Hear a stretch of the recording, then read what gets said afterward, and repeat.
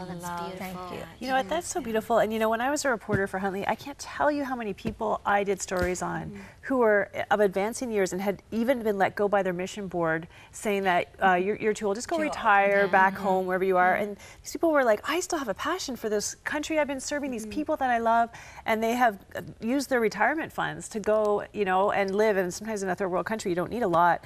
And many of them have, have made a work that is larger than anything they did before their retirement years. And that's exciting to know that, and that's what the Don't Write My Obituary Just Yet.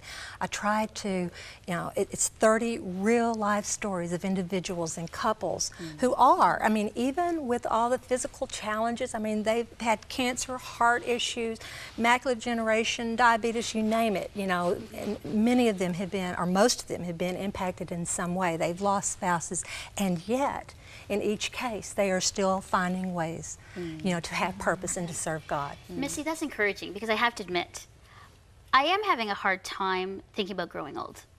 I, I think in your in your book, it, it was a moment for me to just pause because there was a fear of getting older. Sure. Um, I don't know what it means to age well, and maybe I'm going to ask you what that means. And so when you when you have these kinds of stories, it does it does give me hope that I won't be like left out or I'll be disqualified because I'm old. And I think there is that thing about wanting to hold on to youth and and not grow old.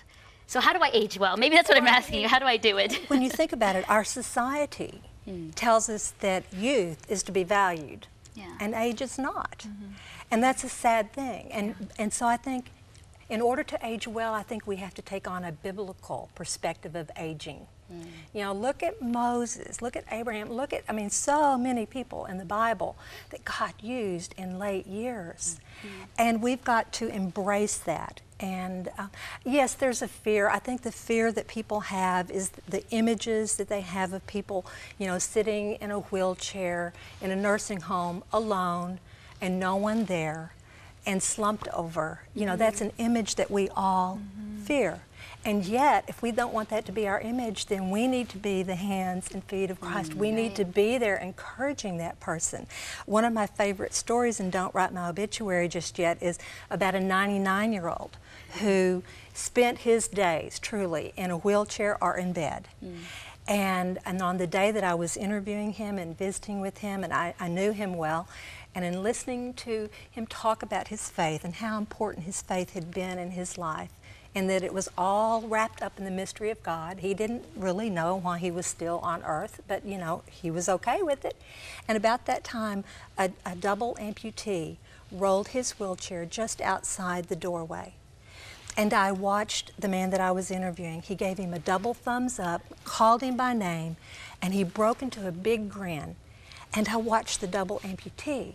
As he broke into a big grin, he lifted his shoulders and, and off he went. Mm. And I thought, you know, sometimes we confuse we think, you know, in order to be used by God, I've got to do something huge. Mm-hmm. I've got to go to Africa and be a missionary, or I've got to do this or that, mm-hmm. something that's huge.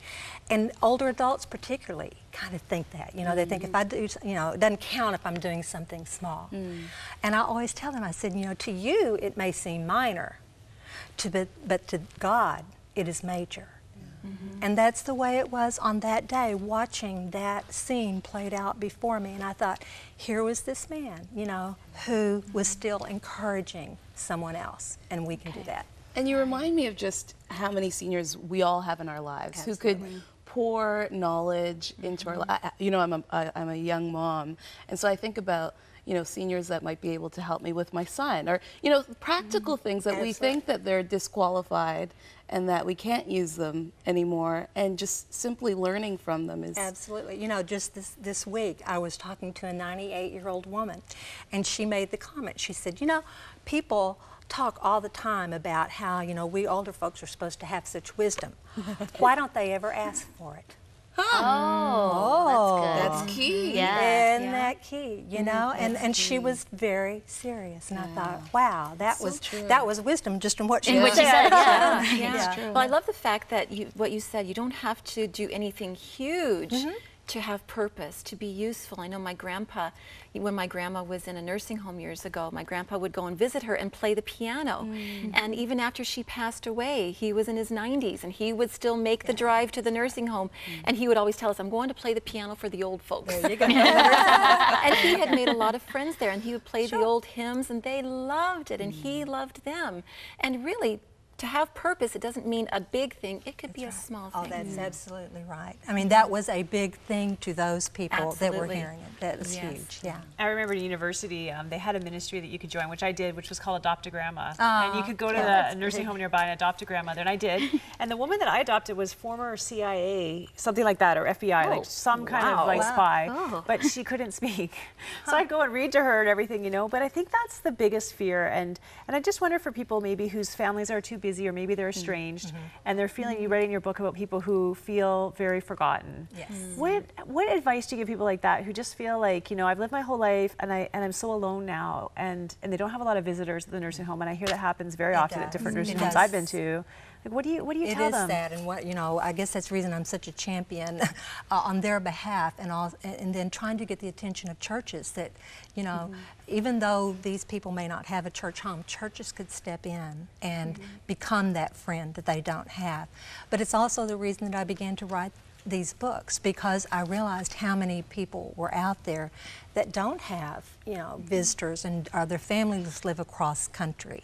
And so in order to help them get the focus off of themselves and onto someone else. You know, mm-hmm. that's key, I think, because, mm-hmm. you know, when, when you're feeling sad and you start thinking about that and that's about all you think, it's easy to sink into that depression. And so to turn that um, so that you're beginning to think about your neighbor, whether it's just going next door to share a cookie or something, but that you get up each day and say, what can I do for someone else? Now, Missy, we've been talking a lot about older adults and finding purpose and value in their lives as well. Let's talk about something that even younger adults deal with, and that is regret. Regret's a tough one, particularly as people age, and, and I kind of refer to it sometimes as broken dreams. You know, things that either they didn't get to do that they had would have liked to have done, or regrets in terms of broken relationships or something like that. And so um, I think there again, helping older adults begin to focus on um, on God so that they are more aware of His forgiveness, of His love for them that's unconditional. Uh, the, I always say that, that prayer should be at the core of every older adult's life, you know, because they, they have time to sit and think and worry, you know, I, I should have done this or what if I would have done that.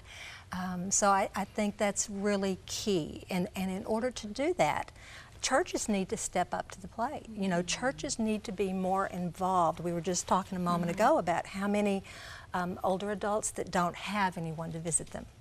And there are many older adults that have spiritual questions, deep, abiding spiritual questions about heaven, about hell, about, you know, all kinds of things.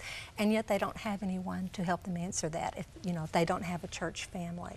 And you know what else they have is secrets. A lot of older mm. people have secrets that they've never told anybody. Yeah. And at the end of their life, I see many people starting to unburden to a trusted, uh, you know, pastor Right. or Yeah. or friend. And I think that's important to do. It is, and in order to have that, they've got to have relationship, mm-hmm. and that's that's what's key to mm-hmm. all this. As I was talking about the, the youth, you know, building relationships with older people. And I That s- great. Your, your books have really brought a lot of this to light. Missy, thank you for being with you. us on Full Circle. A lot to think about. Thank you for joining us as well. And remember, as always, keep your eyes on Jesus. It's all about Him.